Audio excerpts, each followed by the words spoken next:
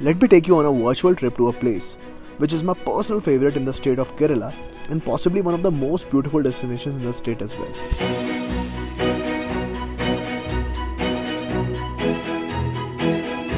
Now Varkala is mainly known for two places, Varkala beach और कपिल बीच और यहाँ पे सर्फिंग का भी कल्चर आ गया तो थोड़ा उसकी वजह से भी हाइप बढ़ गया है but there are so many other places to be explored in and around Varkala और मैं अभी वो सब दिखाने वाला वारकला में बीचेस के नाम पे mainly Kapil and Varkala beach सबसे ज़्यादा फ़ेमस हैं। But if you want serenity and solitude to yourself then इन दो बीचेस पे तो जाना बनता है। इसका नाम ब्लैक सैंड बीच है पर ऐसा कुछ ऐसा इतना ब्लैक कुछ है नहीं ब्राउन भी है बीच बट uh, मुझे बड़ा पसंद है ये बीच और एक इसका अगला वाला बीच ओडयामा बीच ओडायामा बीच शाम को मैं रोज़ आता हूँ यहाँ पे और हमको इतने कम लोग होते हैं होते ही नहीं लोग।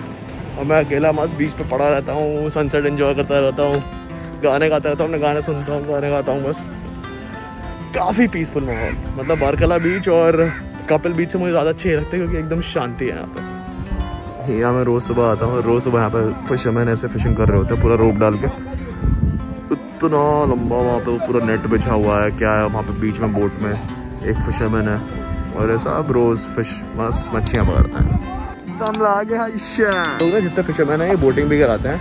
तो अगर तुम्हें बोटिंग करनी है एकदम सी के बीच में जाना है। वहाँ पे डॉल्फिन वगैरह दिखाएँगे और एकदम तुम ब्लू पानी के बीच में होगा।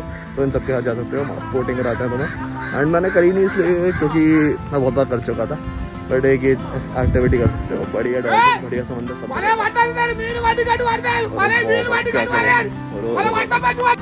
पता नहीं क्या क्या बग गया मुझे तो नहीं बग रहा था। Now it's time to go to one of my favourite places in Varkala रोज़ यहाँ जाता हूँ रोज़ रोज़। कभी सुबह कभी शाम। आता तो हूँ ही मैं। This is the place where you'll get to meet most of the travelers. The place with the best of the cafes in the town with a perfect view. शाम को आके बस हवा खाओ इस जगह पे। हवा खाओ यहाँ आके, शाम को मज़ा आ जाता। है यहाँ पे ना तुम किसी भी कैफ़े पे आके अगर तुम नॉन वेज खाते हो तो सी फ़ूड खाना है यहाँ पे सी फ़ूड कल्चर है ऑफकोर्स एक से एक बढ़िया मच्छी मिलेगी, और specially fish and banana leaf sea food खाओ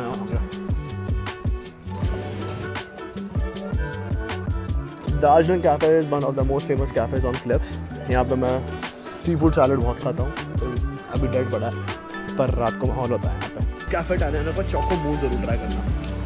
बेस्ट अगर तुम्हें अच्छा इंग्लिश ब्रेकफास्ट चाहिए तो कैफ़े डेलमार पर मिलेगा बढ़िया। Please welcome to God's Own Country Kitchen. We have live seafood, okay jumbo crab, that right there is the main Varkala beach वो थोड़ा क्राउडेड रहता है, पर काफ़ी अच्छा बीच है फिर भी। साफ़ है गंदगी नहीं है यहाँ पे। और बीचों की तरह ऐसे गोवा वगैरह में होते हैं कि भीड़ होती है तो गंदगी होती है, यहाँ ऐसा नहीं है। ये काफ़ी साफ़ है।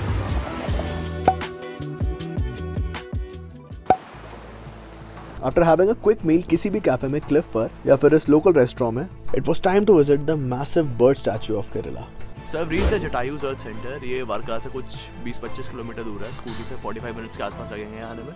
और ये चढ़ाया मंगलम में आता है which is in the Kollam district of Kerala what is it famous for ये वर्ल्ड का सबसे बड़ा बर्ड्स कल्चर और अब ऊपर जाके देखते हैं कैसा है। यहाँ जाने का शायद सिर्फ़ ट्रॉली से ही जा सकते हैं वो जो गंडोला होता है उससे जा सकते हैं आप। यू एक्सेप्ट गूगल पे और कार्ड अजीब सिस्टम है।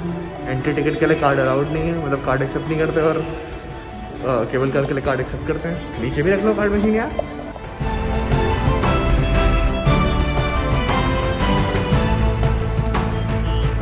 सो जिन लोगों को नहीं पता जटायु कौन थे, मैं बता देता हूँ। हिंदू मैथोलॉजी में रामायण में जटायु एक डेमी गॉड थे।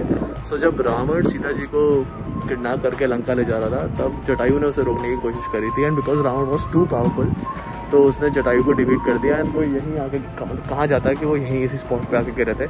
इसलिए यहाँ पे उनका स्टैचू बनाया और इस स्पॉट पे जब वो गिरे तो बाद में राम और लक्ष्मण जी आए। तो जटायु ने अपनी आखिरी सांसों तक उन्हें बताया कि वो लंका, कि वो साउथ ले जा रहा है उसे। तो पूछोगे is it worth coming to this place personally मुझे इन जगहों की बहुत ज़्यादा शौक नहीं है।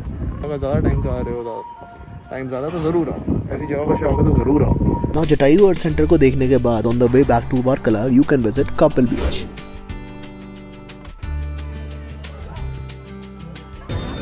ये देखो आशिक को आशिकी। कापिल बीच की स्पेशलिटी है कि यहाँ से ना बैक वाटर्स निकल के आ रहे हैं। तो काफ़ी बड़ा बैक वाटर है यहाँ पे which is called the Kapil lake जहाँ पे लोग मस्त डुबकी मारते हैं। मैं अभी इसलिए नहीं जा रहा कि यहाँ पे बहुत ज़्यादा भीड़ हो रही है। अभी मैं एकदम शाम के टाइम पे आया हूँ तो ऑफकोर्स सब लोग सनसेट इन्जॉय करने आए हैं। तो काफ़ी भीड़ हो रही है यहाँ पर बट मैं अभी यहाँ पे वापस आऊँगा अर्ली मॉर्निंग बिकॉज़ मुझे शॉपिंग करनी है। यहाँ लोग मेनली शॉपिंग करने आते हैं। मैंने आज तक कभी लाइफ में सर्फिंग करी नहीं है। और लेट्स सी मस्त गिरूँगा मुझे पता है सर्फिंग करते करते तो यहाँ मैं एक दो दिन सुबह सुबह आऊँगा शॉपिंग करने और देखूँगा कि भाई शॉपिंग का एक्सपीरियंस कैसा होता है।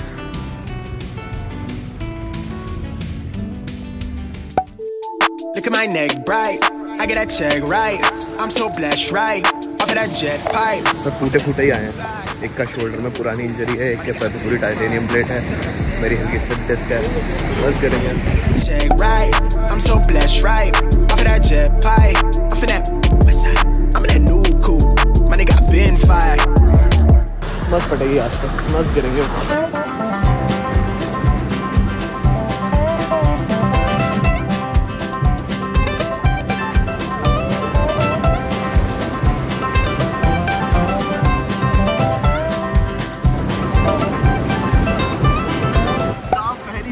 से सारे वेव में मैं गया लास्ट में आगे करते हैं, वही गिरा हूँ ना हर बार सही हुआ, मज़ा आ गया कॉन्फिडेंस आ गया टूट फूट के।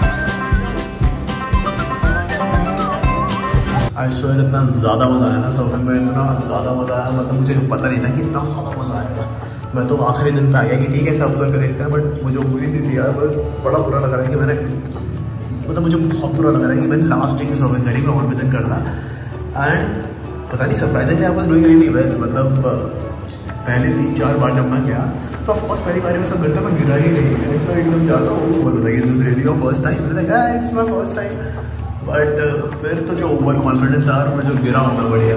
हाथ भी चलाया मैंने हल्का सा। बट बट जो मज़ा आया ना मतलब मुझे प्रोफेशनल स्कूबा डाइविंग का कोर्स करना था। मुझे बेसिक स्कीयर का भी कोर्स करना था बट अब सर्फिंग का नाम है कभी ना भी करूँगा ही। ग्रेट एक्सपीरियंस ग्रेट एक्सपीरियंस और मुझे और एक लड़के के बीच तो हेल्दी कंपटीशन होगी भाई इससे बढ़िया मैं करूँगा, उससे बढ़िया मैं करूँगा। और हमारा कोच भी मुझे बोलता है कि I give you nine point five points let's you can do ten और नॉट तो मैं तो एकदम अभी करके दिखाता हूँ टेन अभी करके दिखाता हूँ। ग्रेट एक्सपीरियंस बट यार इतना दुख हो रहा है ना इतना दुख हो रहा है। जब मैं ड्रोन फुटेज ले रहा था ना जितनी बार मैं बढ़िया सर्व कर रहा हूँ उस टाइम ड्रोन फुटेज आई नहीं क्योंकि मेरी स्टोरेज ही खत्म हो गया था। मैं तक गधा हूँ। मैं डिलीट करके आया था। स्टोरेज बहुत कम था और जब मेरी बारी आई सर्व करने की और जब मैंने बढ़िया से सर्विंग करी है एक भी फुटेज सही नहीं आई तो उसका तो चुभ रही है भाई बात चुभ रही है। एंड एक और चीज़ मैंने सोची कि according to me Varkala is one of the best destination in India workation के लिए। क्यों? इंटरनेट कनेक्टिविटी अच्छी है, ठीक है? हॉस्टल्स हैं वहाँ पे तो वहाँ पे तुम जैसे लोग, मेरे हॉस्टल में बहुत वोकेशन के लोग आए हुए हैं तो तुम जैसे लोग और बोलेंगे, तीसरी चीज़ कैफ़े चाहिए होता है, अच्छे कैफ़े चाहिए होता है आगे कैफ़े कल्चर बहुत अच्छा है, ज़्यादा एक्सपेंसिव भी नहीं है क्लिफ पे हैं, और वीकेंड पे भी एक्सप्लोर करने के लिए बहुत सारी जगहें हैं, जैसे कोवलम है मुन्नार है आलपी है, तुम एक वीकेंड एक एक वीकेंड में घूम के आ सकते हो। सुबह सर्फिंग पे जाओ, फिर पूरे दिन काम करो, फिर शाम को कैफ़े में चिल करो, या आसपास घूमने जाओ, फिर वीकेंड पे और जगह पे घूमने जाओ। तो वर्केशन के लिए अगर इसे कंसिडर करना है तो हाँ काफ़ी अच्छी जगह है यहाँ तुम्हें अगर घर चाहिए तो रेंट पे भी एक दो महीने के लिए घर मिल जाते हैं, जो जहाँ पे वर्केशन कर सकते हो तुम। अब ट्रिप की एंडिंग अगर परफेक्ट करनी है तो आई थिंक जो सबसे बेस्ट डेस्टिनेशन होती है ना, उसे एंड में ही देखना चाहिए। एन एस ट्रिप का वो परफेक्ट स्पॉट था अराउंड डेढ़ घंटे की scooty ride away from Varkala to Munroe island where I headed for a local boating experience in the most beautiful backwaters of Kerala अब लोगों को लगेगा कि यार केरल में तो इतने बैक वाटर्स है हर जगह बोटिंग होती है इसमें ऐसा स्पेशल क्या है? खुद ही देख लो। पूरी हिल गई मेरे बैठने तो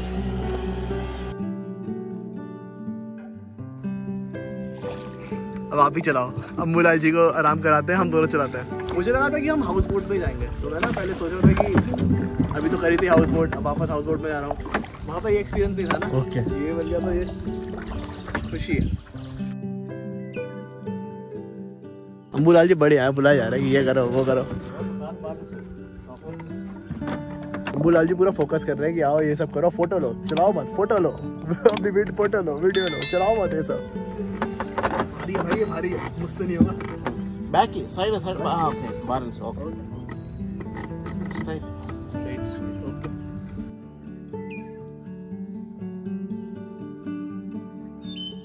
अरे मज़ा आएगा मज़ा आएगा। गिरेगा तो ज़्यादा नहीं है पानी। मैं भी आऊँगा। I am coming I am coming Ambulal ji I am coming shoe open okay I open the shoe one minute Ambulal ji मस्त है बता रहे कि ऐसे शूट करो, अब शूट करो। ए, इसका वीडियो लो, इसका वीडियो अब ये पोज दो, अब वो फ़ोटो लो। Photo photo good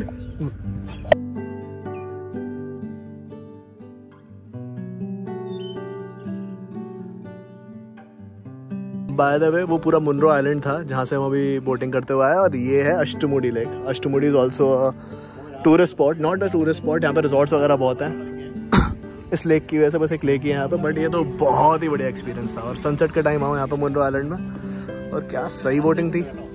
और अम्बूलाल जी से ही रहना ही is the cutest cutest cutest मेरे लिए तो I feel this is one of the best vacation destinations in India and also great place just for a small vacation so till the end you plan your first or your next trip to Varkala travel more meet new people more talk to people more अपनी कहानियां सुनाओ उनकी story सुनो हंसो मुस्कुराओ खुश रहो क्योंकि क्या पता कल हो ना हो